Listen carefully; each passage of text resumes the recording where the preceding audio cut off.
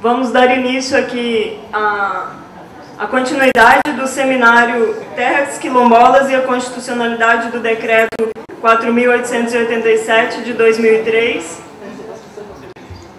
O objetivo geral do nosso seminário, que é organizado pelo Grupo de Pesquisa Meio Ambiente, Sociedades Tradicionais e Sociedade Hegemônica, aqui do programa de pós-graduação da PUC Paraná, é promover o debate acerca dos direitos territoriais quilombolas e da ação direta de inconstitucionalidade, ADI 3297, incidente sobre o decreto número 4887 de 20 de novembro de 2003, que regulamenta o procedimento para identificação, reconhecimento, delimitação, demarcação e titulação das terras ocupadas por remanescentes das comunidades dos quilombos de que trata o artigo 68 do Ato das Disposições Constitucionais Transitórias, a DCT.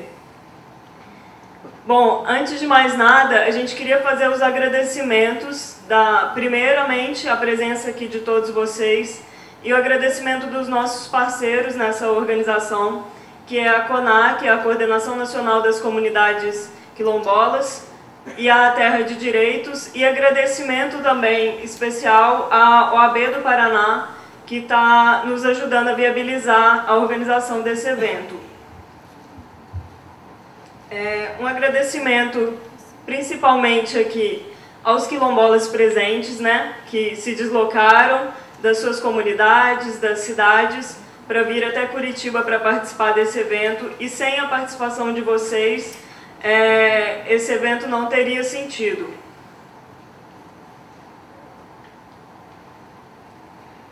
Eu queria aqui, quebrando o protocolo, porque nós não temos protocolo,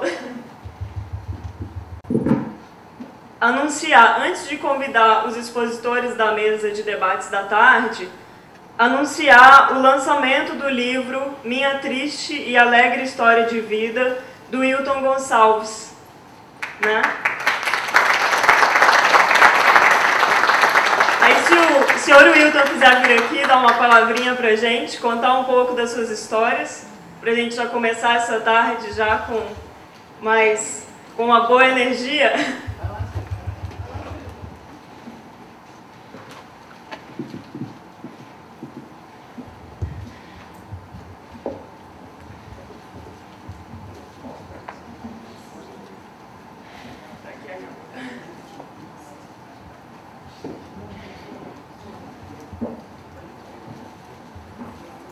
Publicação da Universidade Federal do Paraná, Litoral. Né? Em primeiro lugar, quero dar uma boa tarde a todos e, e dizer a vocês que a minha alegria não é tanto pela questão do livro que eu escrevi, a minha alegria é pelo apoio ao qual eu encontrei que valorizou a minha história, depois de tanta luta e ela acabou sendo patrocinado pela Universidade Federal do Litoral, Paraná, o qual tem, e o que mais ilustrou o livro não é a minha história, o que mais ilustrou o livro é as pessoas que fizeram alguns depoimentos sobre a minha história e colocou nesse livro. Até foi o que me despertou mais eu ler o livro porque foi uma, uma divulgação, um depoimento tão, com tanto cuidado, que nem o depoimento da minha mulher, que ela mesma fez sobre mim, eu só fui saber o que estava escrito depois que eu vi o livro. E tantas outras pessoas, algumas estão aqui, outras não estão, e o lançamento ainda está para ser feito dentro da Universidade Federal do Paraná, o qual a gente está com essa com este livro, mas só para, assim como se fosse é, um pré-lançamento. E esse livro, ela foi escrito, por isso que o título diz Minha, minha Triste e Alegre História de Vida, porque ao contrário de muitas pessoas, é, às vezes a, a, tristeza e o sofrimento vira é, e aumenta ser mais tristeza e mais sofrimento.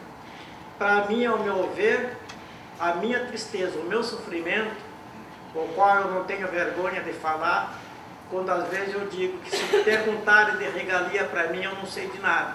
Se perguntarem de sofrimento, tristeza, pobreza, eu entendo de tudo.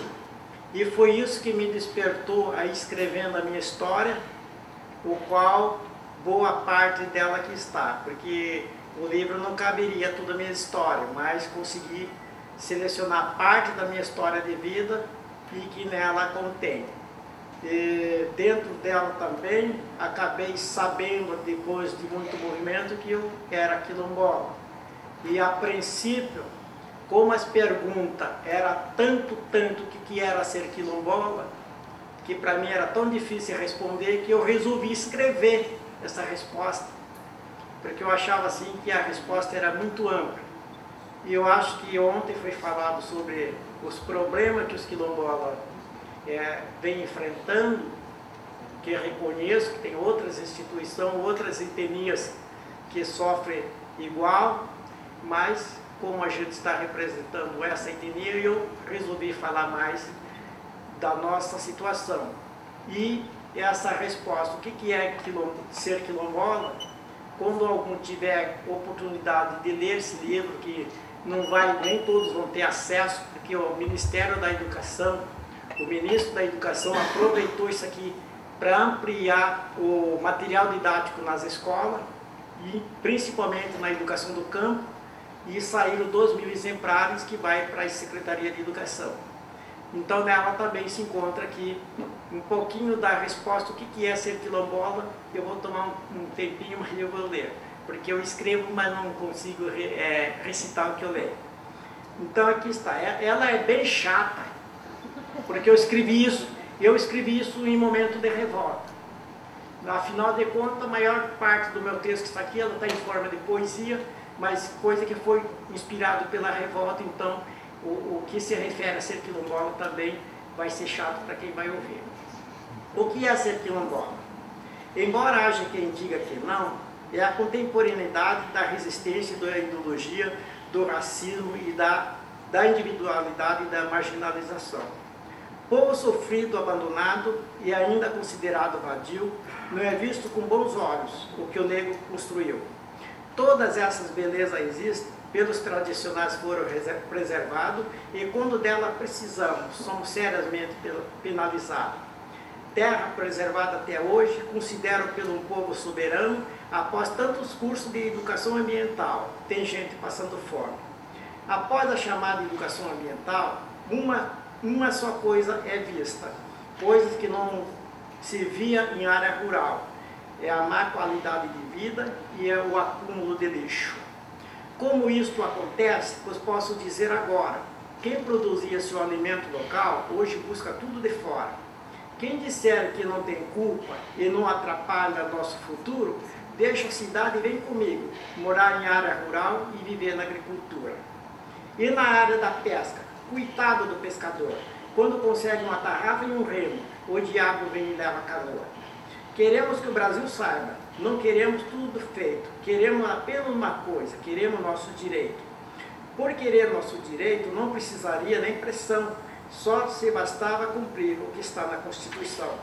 Preto quer política pública, não pede nada de graça, preto é honesto e tem vergonha, tem brilho, postura e forte braço. Tanta gente vem de fora, nós ensinar a preservar. Nosso território está preservado, vamos cuidar do seu lugar.